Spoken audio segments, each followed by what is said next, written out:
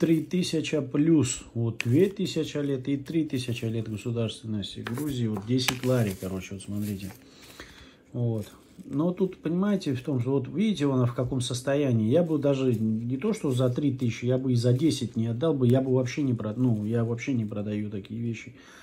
Ну, я думаю, я вон думаю, что в таком состоянии она должна стоить в таком состоянии. Ну, видите, она идеальная, унц вообще. Смотрите, смотрите. Ух, ух, ух. Во-первых, найти надо в таком состоянии. Спасибо, дядя Сандро подогнал мне эту монету, эти монеты. Вот, значит, ну, я думаю, пара 100 долларов минимум она должна в таком состоянии стоить, видите? Дядя Сандро, ты меня этими монетами, конечно, обрадовал.